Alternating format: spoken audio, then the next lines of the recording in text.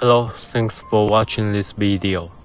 Hekui Sustainability Matters.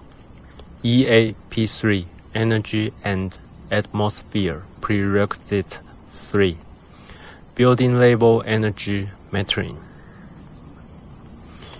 You may want to write down. Refer to EAC3, page 405. Nearby this prerequisites title on your LEED v4 reference guide. This prerequisite require you to monitor your total energy usage. Either install a single meter at the utility entrance or multiple submeters that can account for your whole building energy. For those utility-owned meters capable of aggregating the necessary building level resource usage are also acceptable. Allow me to put the required list and the not required list. I adjust them into alphabetical order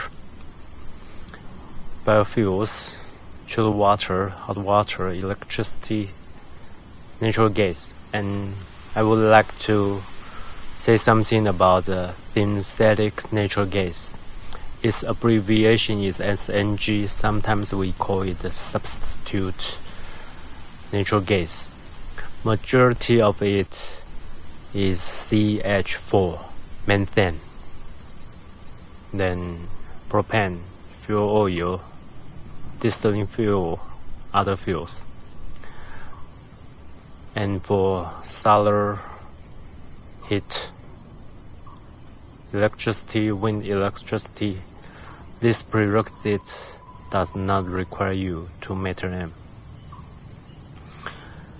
Then you must commit to share your information, your data with USGBC at least five years, beginning from the day your project accepts the LEED certification or the ownership of this building changes or maybe someone else leads this project.